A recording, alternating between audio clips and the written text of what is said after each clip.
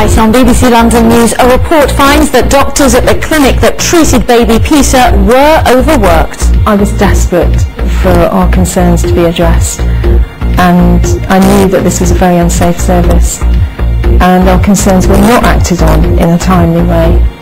Also tonight, was this fire in South London two years ago a missed opportunity to help improve safety in council blocks?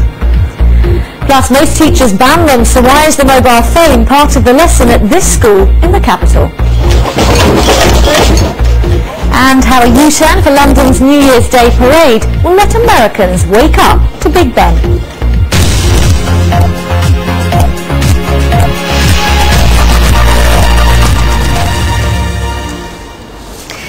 Next, students at a West London school are being given top-of-the-range mobile phones to use in class. The trial, said to be the first in the country, hopes to find out if this new technology can aid learning.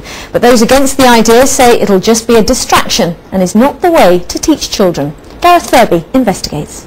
Nothing unusual about this lesson, the method's all very traditional. But in another classroom, it's anything but. Perfect. Can I see this? Yeah. What's the image? The drama wheels. Why? This convent school in Isleworth is trialling the use of iPhones as a teaching aid. Excellent. You've got a big sign of a Buddha. Now, Buddha didn't look like this. The students have volunteered, are being lent the phones and only have to pay for the calls. It is about £10 a month, but um, it's quite reasonable. It's less than I spend on usual phones. I used to have a contract where I paid £25 a month. But how is it useful in school? It may be down to the applications or apps. Well, I found one that's basically the periodic table. I've got like a Shakespeare or the whole load of his Shake, of Shakespeare's work. I think it would be a real benefit for the school. I think nationally it could be a real benefit for schools. Um, we have to embrace this kind of technology. If we lock it away, we're not preparing these kids for their futures at all. But even though this is only an experiment, it's already attracting some criticism. Mobile phones on their own have quite rightly been banned from many classrooms because they do provide, pro- prove to be such a distraction. Also, the case for learning by computers has actually not been pro- proved at all.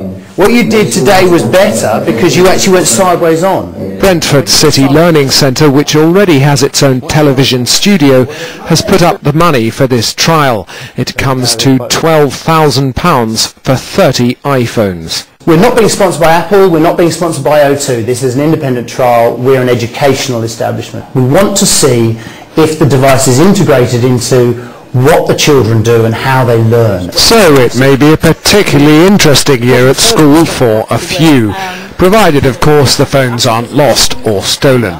Gareth Furby, BBC London News. Well, you've been emailing us all day with uh, your views on this one. Let's take a look at a few. Russell Samuel says, I think that using phones at school is a good thing if they're being used for the right reasons like learning and not being used in tests and exams. Uh, David Rashian Corona is against the idea, saying it could lead to violence with pupils from other schools stealing mobile phones. Uh, Mark Emanuelson got in touch praising it. He says, it's wonderful to see schools using new technology. Children should be using the very latest cutting-edge applications to help them when they go into the workplace. Uh, do keep your thoughts coming into us at the usual address. I do like reading them. Uh, that address, yourlondon at bbc.co.uk. There's to be a U-turn at London's New Year's parade to keep American fans